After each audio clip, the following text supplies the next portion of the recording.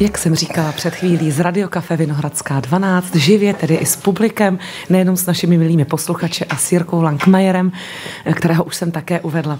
V těchto dnech na nás vykukuje z, mnoha, teda z jednoho plagátu na mnoha místech, jako chlap na střídačku, ale učinkoval, stále učinkuje. Stejně tak v muzikálech, jako v komediích. Můžete ho vidět na komorních scénách, jako je Ungelt nebo Viola. Já ho velmi dobře, jakožto kolegyně, bývalá z divadla, pamatuji ve velkých seriózních a velmi často dramatických divadelních postavách. V roce 1998 získal cenu pro mladého činoherce. No a to není všechno, prošel také ordinací, a jak já ho znám, tak nejenom tou televizní projektem soukromé pasti. Líbal jako ďábel, měl bezvaženskou na krku s velkým B a má bezvaženskou, a ne na krku, ale doma. Ví, o čem je Dukla, Lajna a ve výčtu bychom mohli pokračovat. Ahoj, Jirko. Moc mě těší, že jste mě sem pozvali. Dobrý den. Tak představ si, že já si vždycky, i když toho kolegu znám tak dobře, jako, jako znám tebe, tak člověk neví vlastně mnoho o těch druhých a teprve vždycky je co objevovat. A tak jsem si tradičně vždycky otevřu Wikipedii. A už minule u Moniky Absolonové nás tam pobavili některé věci a opět mě to nesklamalo. Tak si představ, co je ve Wikipedii. To je jako to odborné, víš. Aha. Je to český divadelní, televizní a filmový herec, to jsme si teď dokázali, potud nic překvapivého. A komik. jsi uvedený jako komik. Pro mě tak to je katastrofa. jako po všech kaligulích, po všech jako opravdu soukromých pastech prostě. Možná, že na někoho tak působím jako komik. No a ty si tak někdy připadáš? Připadáš si někdy jako komik? A to ve všech možných překladech tohoto významu. Mnohdy si připadám jako komik doma. Ale tam mám dobrý publikum, takže to je v pohodě. Neřekl bych, že jsem úplně komik, ale je fakt, že třeba včera uh, jsem byl již po čtvrtý s klukama z partičky, který mi vzali mezi sebe. Mm-hmm. A to je pro mě úplně uh, eh, nový obor, no počkej, tak kde bych je, tedy měl nevinka. být komikem. Ale musím říct, že ve svých třeba 50 letech jsem tam úplným půlcem. To znamená, že jsem úplným začátečníkem ale jsem za to hrozně rád, že mě uh, Suchoš, myslím tím Michala Suchánka, že uh, mě to nabít a že mě vzali mezi sebe, protože jsem vlastně vstoupil na úplně i, i, novou půdu další. Novou půdu a je to pro mě eh, strašně dobrodružný s nima být, protože kluci už to dělají asi sedm let a já jsem mezi nima úplný nováček. Kluci to dělají celý život, ale sedm let oficiálně. Jo, jo, jo. A být nováčkem v 53 letech je velice zajímavý pocit. No možná i osvěžující, ne? Možná, no, to že rozhodně. inspirativní, omlazující do jisté Omlazující, jo, ale úplně mi to nejde tak, jak bych chtěl, protože znáš mě, já mám rád všechno, aby bylo hned a tady to prostě nejde a já si to budu muset odjezdit, nebo lépe řečeno odehrát. Tak eh, včera jsem naposledy se cítil tak třeba ze 3% jako komik. Hmm, no to, ale to máš zase krásně kam jít.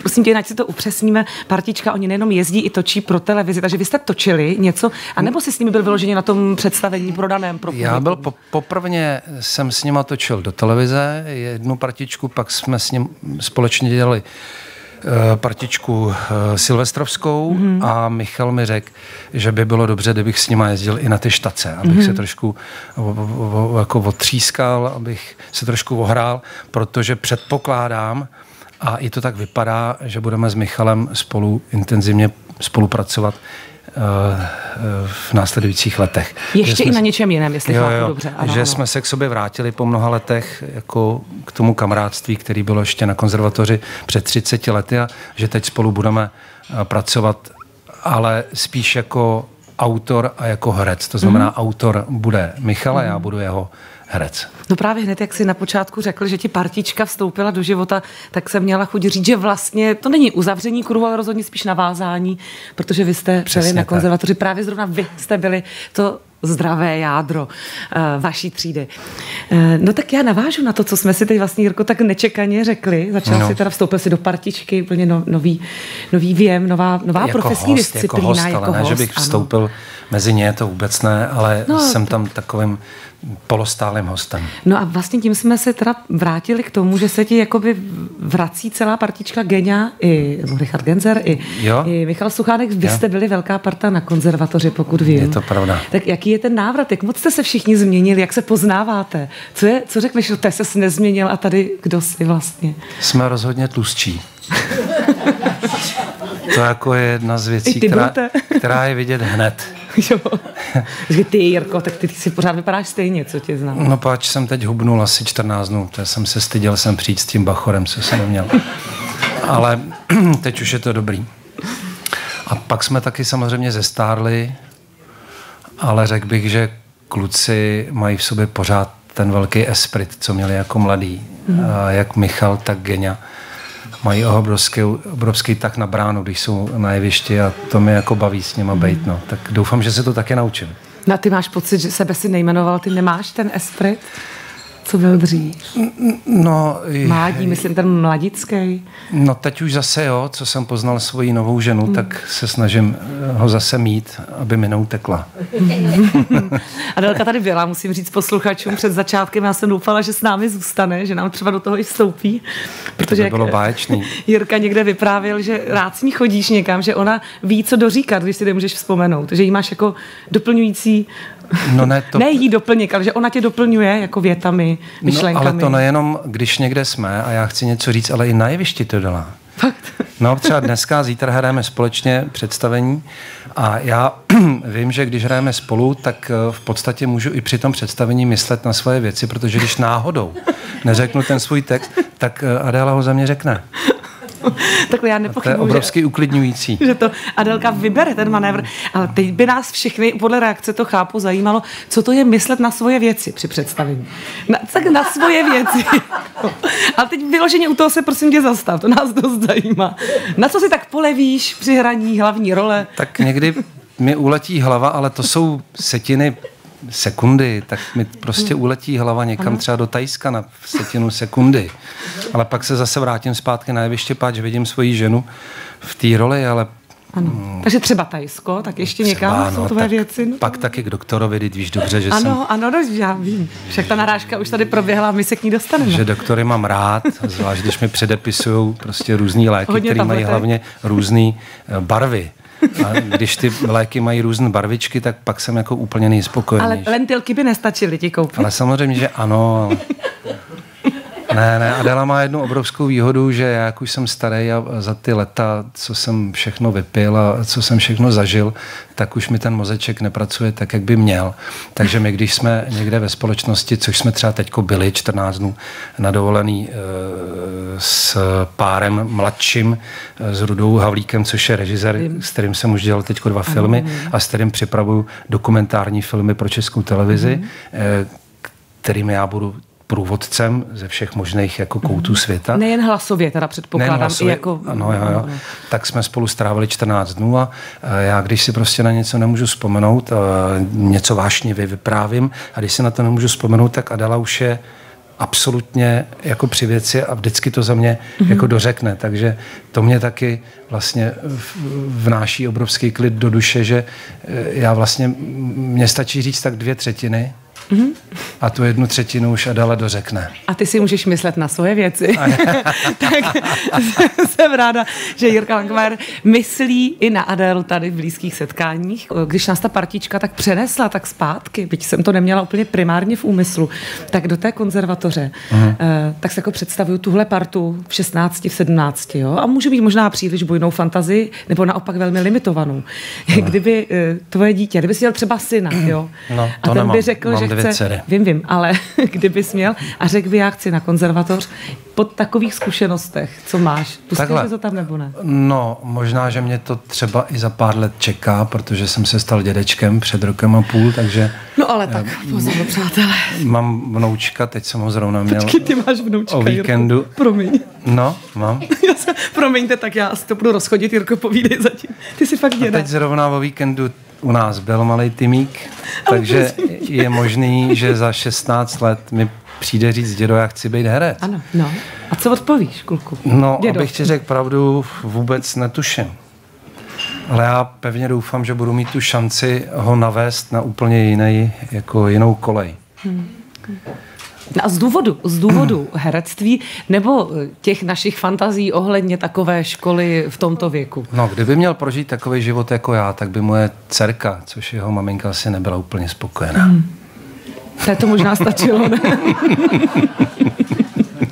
No ale počkej, když jsme u toho, to, to, to jsi mě úplně odkryl zase jinam. Ty nevíš, že už jaký, jsem děda. Ne, jaký se, nevím, to jsme se dlouho neviděli. představ, že já jsem třetí. Počkej, že Adela je babička. Adela je babička, bába. Adela je babička. Já se zblázním. Tak... Bába, děda už říká všecko na mě. Ne. Volá, jo, jo, koupil jsem mu bagr teďko, takže... Hraj, hraješ já si s ním, začín... třeba máš čas si trošku pohrát, nebo až takhle daleko nejsme v tom dědečkování? Teď říkám, že u nás byl celý víkend. Jo, takže, no ale jestli si hraješ, nebo jestli na ně jenom koukáš. No hraju, pitvořím se to, co dědečkové dělají. No, šišlám, po čtyřech chodím, do schodů, ze schodů. Já jsem tě no. fakt dlouho neviděla. Já úplně... A jsem nesmírně šťastný, protože si myslím, že to přišlo jako ve správnou chvíli. Mohlo to přijít ještě dřív. Hmm. Já, když jsme se takhle přesunuli, tak já tu mám ještě jednu svou vlastní vzpomínku. Jestli pak ty, Jirko, víš, kdy my jsme se úplně poprvé viděli. Už to čas zavál, nebo si to vybaví? Jo, vím, vím, vím, vím. Co vím, teď není připraven. Vím, ale nevím, jestli ty jsi mě vnímala, to asi ne. No tak když se na to ptám a je to, bude to stejný moment, tak jsem tě vnímala. To jde na, o to, si řekneš národní, stejný moment. Národní divadlo eh, Fidlovačka, Aha. a ne žádný hněv a žádná Aha. rvačka. Ty přicházíš, za ruku tě vede. Ano. Pan, Ma, pan Mareš? Ne, ne, ne. Pan Mareš, nebo ne, doležal, pan doležal. Pan doležal, pan doležal. který jde vzpívat uh, hymnu. hymnu. Ano. A já jsem tehdy měl uh, tu čest hrát Jeníka ve Fidlovačce. Ano, tak, tak to už bylo... je ale třeba 40 let, nebo co? Uh, ano, tak počkej, promiň, to zase promiň, ne, promiň. tak pojďme, ještě si to přepočítáme. Takhle. to, mně bylo 10 let, tak zkus znova tu číslovku. Tak nevím, tak 35. 33 let. To 33? Je, Vážně? 10, ano, ano. Fantasticky. Je to 33 let, takže, takže jedna celá Kristova leta zpátky. A vidíš, fakt mě překvapil. Já si to samozřejmě vybavuji, že jsi tam hrál, ale já jsem tuhle historku vlastně, mě se vybavila jiná víc, protože já si myslím jedna z mála kolegyň, uh, u kterých byl Jirka Lankmajer v obýváku v jídelně doma, když mě bylo 14. Jo, to by mi asi každá závidí, ty jsi zkoušel státu a já samozřejmě znám, toho velkého Jirku Lankmajera jsme měli doma. Před mnoha lety, to je pravda, já na to moc rád vzpomínám, protože uh, teď, když jsem dělal velký rozhovor do takzvaného zákulisníku, což je, jsou noviny divadla Ungelt, mm-hmm. kde Petr, mm. tvůj táta, uh, hraje v několika kusech, tak uh, jsem na něj několikrát vzpomněl v tom slova smyslu, že vždycky, když jsme jeli spolu na zájezdovku, kterou on tehdy režíroval. A u nás se zkoušela, tím vysvětlujeme, proč byl Jirka u nás pobývá. U vás se zkoušelo a já byl celý vyděšený, tak mi říkal, vždyť to jenom divadlo. A když jsem si třeba vzal housku namazanou třeba tak hodinu a půl před představením, tak na mě křičel, před divadlem se nežere, před představením. tak to si do dneška pamatuju. Je to jenom divadlo, ale že, že, he, že herec před představením přece nejí. No, tak a teď jsme se vlastně potkali po těch mnoha letech jako ve stejném divadle, tak je to pěkný. Jsem na to jako pišnej, že to hmm. takhle je. S Jirkou Lankmajerem, komikem a hercem. Což si samozřejmě mohu dovolit takhle do něj šít, jenom protože se tak dlouho známe, jak jsme zjistili, už 40 let. 33. 33. To je dost. Ještě, ještě k jednomu oblouku vlastně došlo, když už teda ta partička kluci zpátky, hmm. uh, tak uh, pokud jsem dobře zaregistrovala, tak se ti znovu víc a víc vrací do života housle. Jo, jo, jo. To mi přijde taky vlastně možná hezký, ne? Se tak Určitě. něco otevřelo těmhle návratům. Určitě, dneska na ně večer zrovna na jevišti budu hrát. Tak, no, tak nám řekni, kde tě můžeme slyšet hrát na housle, jak no, moc vstoupit do tvého života. hrajeme někde za Prahu, myslím, že ve Blonci, zítra hrajeme v divadle Komorní Kalich. Ano. Bývalá rytířská, Bývalá rytířská. Stále rytířské, tak, to je podstatné. A díky říct. tomu, že jsem začala hrát jenom chviličku. No to nám řekni, my to nevíme. A ty housličky, tak jsem je pak dostal pod stromeček. Díky tomu, že jsem je dostal pod stromeček, tak pak... Uh, je v tom dětství se dostal ne, pod stromeček? Ne, teď od jo, Adély. teď si dostal od Před Adély. třema lety. Jo, takhle. Před třema lety jsou tam připravený a věděli dobře, proč jsou tam připravený, protože ještě mezi tím jsem si odskočil do Ungeltu hrát hru, která se přímo tak jmenuje, Aha. která se jmenuje Housle a ty skutečné housle, co mám doma připravený, jsou připravený nahoru, eh, která se jmenuje Falešná nota, a kterou budeme eh, v únoru roku 2022 mm-hmm. premiérovat ve zmíněném Ungeltu s Jirkou Dvořákem mm-hmm. ve mhm. dvou. Dneska už můžu uh, prozradit k mé obrovské radosti, že to bude režírovat můj guru, velký učitel a člověk, ke kterému vzhlížím, Martin Huba. Mm-hmm.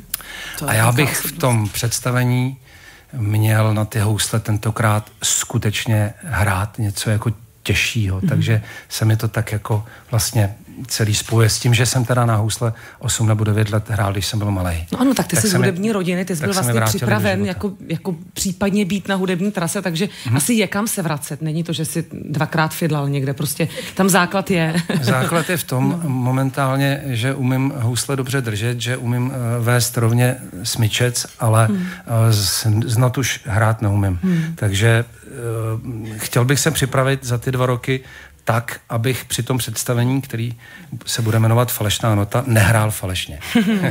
tak jak tě znám, tak začneš asi velmi brzy. Podle mě to nebude, že týden před premiérou se na to jukneš. Takže Zkusím poprosit čeká. táto, jestli by mi s tím nepomohl, hmm. no, protože po něm to muzikantský, tu, tu muzikálnost mám. Hmm. Eh, když už jsme jsi děda, už tady nám do toho přišly vlastně tyhle ty informace, tak je, myslím, že tvůj dědeček, či dokonce pradědeček byli ti, kromě táty, který je taky hudebník, kdo tě, kdo u tebe byli, kdo tě trénovali ty housle? Jo, jo, no protože já jsem se narodil, ještě tátovi nebylo 20, tak uh, jsem měl tu možnost mít nejenom dědečka, ale i pradědečka. Hmm. Pradědeček byl starý vesnický muzikant, který hmm. hrál na tubu a v jednu dobu, na což nespomínám úplně jako rád, dneska už ano, ale v tu chvíli ne, tak eh, k nám domů chodil ve čtvrt na osm a od čtvrt na osm do tři čtvrtě na osm jsme hráli půl hodiny, cvičili na housle. A každý pak, den? Každý den hmm. a pak mi teprve pustili do školy. No nic moc jako. A ty, a, ty jsi, a ty jsi poslouchal, ty se nebránil. Kolikrát řešíme s maminkami, že to dítě prostě se nám jako šprajcne. Ty se nikdy nešprajcnul. No dneska už je jiná doba, Tereza. Víš? Já byl ještě docela hodnej. No. Já taky totiž, tak já nevím, jak to ty dnešní děti dělají, že se nám šprajcnou a my to dovolíme. A když jsem nebyl hodnej, tak táta vzal prostě normálně pásek, což už se dneska nedělá. Seřezal mě, no, bylo. No. Fakt? Jo, jo, jo. A když už jsem pak začal zlobit a do dneška si pamatuju, že jsem dostával furt nějaký poznámky, tak eh, jsem dokonce dostával tolik ran, kolik v té poznámce bylo slov. Tatínek to měl vypracované. no jo, no, ale tak uh, protože byl mladý a vím, že kdykoliv sáhnul k těmhle těm výchovným prostředkům, tak pak z toho byl celý špatný. No jasně. A stejně to ze mě nevymlátil. Pak jsem byl ještě zase horší, a ještě to bylo horší, ještě to bylo horší, až se to v 50 letech konečně zastavilo. To právě si říct, teď je to nějaký dobrý, jako já jsem všude četla a to tak slyším, že teď je to nějaký všecko dobrý. Tak možná ty rány tenkrát k něčemu byly. Ale každý, každý oheň jednou dohoří. A já jsem dohořel. A už jsou jenom uhlíky, a na kterých se dá udělat třeba brambora nebo něco, ale už člověka tolik jako nes, už, už to není tak spalující. Už nespálí, ale zasytí, jako náš dnešní host Jirka Lankmajer na dvojce. E, mám tu dokonce otázky od našich hostů v Radio Kafe Vinohradská 12, tak na ně určitě také dojde.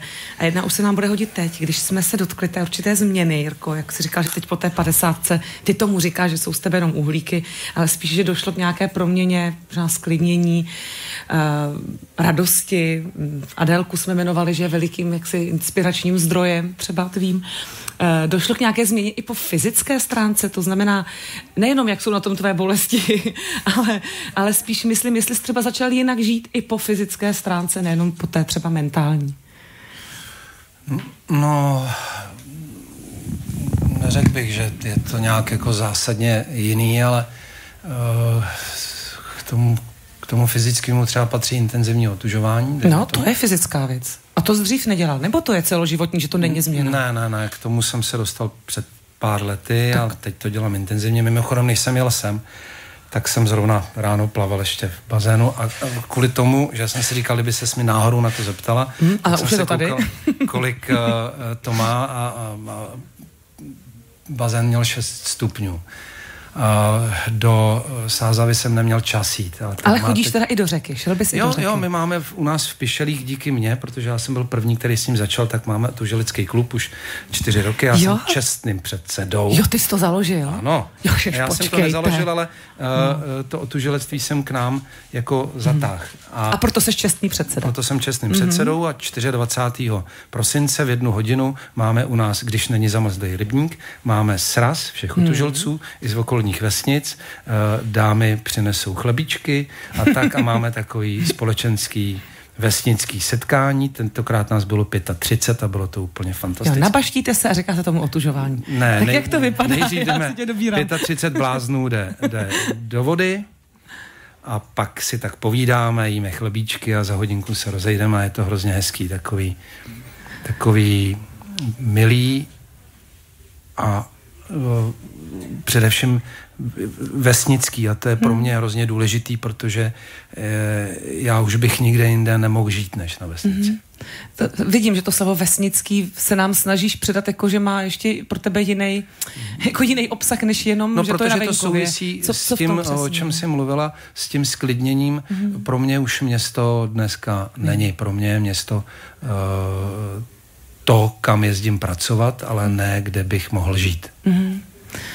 Uh, Kolik tak naplaveš? To ráno, když říkáš otužování, někdo si představíme takové to rychlé namočení po sauně třeba do ledové vody, že tohle kdo vydrží tu vteřinu, ale tak tohle asi nebylo vteřina. Dneska ráno. Třeba dneska ráno, ten, to, takové to každoraní, to, to co uděláš. No, jedna věc je otužování, druhá věc je zimní plavání. Mm-hmm. Otužování je, že opravdu vlezeš do vody a jsi tam třeba do minuty mm-hmm. a když se země plave, nebo eh, když eh, teda trénuješ na nějaký závody, a já teda na závody nejezdím, tak se chodí do řeky nebo někam a plaveš díl dvě, tři, čtyři, pět, osm, podle toho, jak to kdo ano. uh, zvládá. A ty teda děláš obojí? No já se ano. snažím, když to šlo, tak třeba v prosinci a v listopadu, aby jsem uh, natrénoval na toho 24. tak s klukama od mm. nás, je nás asi 8 z naší vesnice, tak když to šlo, tak jsme se svolali a chodili jsme do Sázavy, která byla nejstudenější mm. a zatím jsem v nejstudenější vodě, kterou, který jsem plaval, měla dva stupně. Mm. Mně se hrozně líbí, jak se vývojem doby mění gesta lidí, že dřív bylo, tak jsme se svolali, teď byste nás museli vidět, ukazuju sluchátko, a teď už Jirka ukázal, tak jsme se svolali a ťukal prstem do imaginárního mobilu. Jo, Ten takový jako, jako vývoj. Máme tu otázku tady z pléna našeho v Radiokafe Vinohradská 12. Milý Jirko, mám pocit, že jsem vás viděla na Bikramioze. Ano. Cvičíte i dnes, děkuji, z pozdravy od srdce Kamka. Jo, jo, jo, pať jsem se poznal s jednou tou paní, která to celý vede, tak jsem to v jednu dobu zkoušel. Hmm, možná se k tomu někdy vrátím, ale teď momentálně na to nemám čas. No a vyhovovalo ti to, to v tom teple a ten princip třeba jo? No, to je 90 minut. Mm, já to znám, taky chodím. strašně no. dlouho. Já vím. A já mám problém ten, že mám rád studenou vodu a tady se uh, cvičí v kolika? V kolika 42, 40 stupňů. Jo, říkám, a zatímco 40, ano. 90% dam nebo i někdy chlapů odešlo z beginner jogy, osprchovalo se a vzali si věci na sebe, odešli, tak já jsem třeba 40 minut musel sedět hmm. a furt jsem se ještě potil. Takže to bylo jako nepříjemný, ale uh, nevím, myslím si, že spíš se vrátím ke klasický joze, hmm. kaštanga joze. No. Ale to si myslím, že tati může vyhovat na, na páteř, co já jo? pamatuju, tak si často měl s páteří problémy. Ty jsi vůbec jako teda expert na různá zranění. Dal bys dohromady, co všechno se ti kdy stalo za zranění? A tak to není úplně, ve, ve, ve, to nejsou veselé historky úplně. No ne, tak jako ne, mě zajímala ta sumarizace, to nemusíš každou detailně, ale jako víš, že ty jsi byl takový expert na takový extra věci, že jsi o někud spadl při natáčení, vždycky takový to, co se jiným úplně nestane. No ale to mám do dneška, že vždycky musí mít něco jako... Extra. Něco, ně, něco takzvaně extra. Extra bušty. Extra boosty a, a extra boost teda jako secakramenský byl, že jsem si v podstatě doslovně zlámal vás. To je poměrně no a opravdu... tím, tím myslím, že taky začala moje přeměna, protože když už mi potom po druhý dali dohromady a sešroubovali mě celý, tak jsem si řekl, že už se mi znova takovýhle hmm. vylomeniny dělat nechce. No, vylomeniny. Jsou velmi přesné. Jirka Lankmajer, náš dnešní host na dvojce. Eh, mám tu otázku, která vlastně tady zase opět eh, od nás z kavárny, od posluchačů, kteří jsou tu s námi. Eh, když už si jmenovali Jirku Dvořáka, že spolu budete chystat teda věc do roku 22, uh-huh. tak je tu otázka. Těším se, ta divačka píše, těším se do Violina Anděl v modrém, jak vznikla tahle spolupráce s Jirkou Dvořákem, tak jestli můžeme stručně na to odpovědět. Jak jste se vy dva kluci dali dohromady? Anděl v modrém je představení, který už jsem kdysi dávno hrál. Tohle je remake mm-hmm. vlastně. A zase s Jirkou, nebo to je, jste to hráli spolu? Ne, ne, ne, ne, ne, jako ne, ne, ne, ne, už to jsem hrál s někým jiným. Napsal to Tomáš Vondrovica, uh, jelikož uh, můj kolega, který to se mnou hrál, tak uh, už není mezi námi, Aha. tak jsme to přestali hrát a s Jirkou jsme kolem sebe leta letoucí chodili, vždycky jsme se dvakrát, třikrát za rok viděli a říkali jsme si, sakra, to by bylo docela fajn, kdyby jsme se mm. někdy viděli na jevišti a mě ta hra což je hra o vztahu Žána Koktova a Žána mm. Maréze, a který spolu prožili 25 let společného života. A je to tedy hra o lásce především. Mm. Tak mě ležela pořád v ateliéru a já jsem hrozně toužil se znova k tomu vrátit. Znova se vrátit k té krásné hře, kde si říkají tak krásné slova, tak, tak nikdy jsem v lásce nehrál hezčí hru. Než s mužem vlastně a o mužské lásce. Ano, hmm, je to paradox, krásný. ale je to jo. tak. A když jsme se jednou přiopili s panem Dvořákem na Karlovarském festivalu a v pět hodin ráno jsme si slíbili, že teda spolu opravdu musíme hrát, tak mě asi týden na to cvrklo do hlavy, že mám doma pořád toho anděla v modrém a že bychom to mohli znovu vytáhnout což byl dobrý nápad, protože v tuhle chvíli je to představení, který je vyprodaný během deseti minut hmm. a máme to nesmírně rádi a myslím, že to spolu budeme ještě dlouho hrát. A další věc, která je výborná, je, že jsme spolu se naučili hrát, že jsme se spolu naučili být na jevišti. Hmm. To znamená, my až vstoupíme spolu na jeviště Ungeltu, tak už budeme přesně vědět hmm. o všech svých chybách. Vlastně můžete na to stavět. Vy nemusíte tak, znovu, můžete jít dál. vlastně jít o schod hmm. vejš. Na to se nesmírným způsobem těším. Hmm. A ještě taky jednu věc, a to se musím pochlubit, že Jirka odešel z, ze stálého angažmá, vlastně v divadlech vůbec nehraje hmm. a potom, co jsme spolu hráli asi rok ve Viole, mi řekl, že na divadlo se vrátí jenom se mnou. Hmm. Tak to byla poklona hmm. veliká. Děkuji mu za to. Já vidím, že nám běží čas. Máme opravdu už ani necelou minutku, takže chtěla jsem se dostat k filmu Chlap na střídačku, no což půjdeme na to do kina, nemusíme se ptát, můžeme se jít podívat. Ostatně to je taky herecká práce, že oni nemusí mluvit, prostě ji můžou konat. Ale já se musím zeptat, protože si nemůžu to vybavit, kdo byl ten herec, s kterým jsi to předtím hrál a odešel. Já si to fakt nevybavuju. A mě by to nedalo spát? A nebo jsem tě tady eh, zaskočila? Byl to Mireček Moravec. Ano, já se těším, jak to teď říkáš, tak si to vybavuju a tím se mi ten kruh jako Ten už je na boží, tak uh, ano. tě tam nahoru, Mirku, zdravíme. Já bych bez téhle otázky nemohla skončit naše blízké setkání. Teď už můžu, Jirko, a ti moc děkuju. Přeju ti hodně štěstí v divadle, všude doma. Adelku, pozdravuj. Eh, co budeš dělat příští středu v 11? to vám nesmím říct.